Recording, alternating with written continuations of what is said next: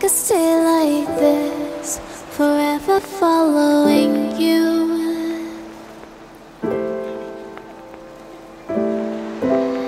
Just don't get too far.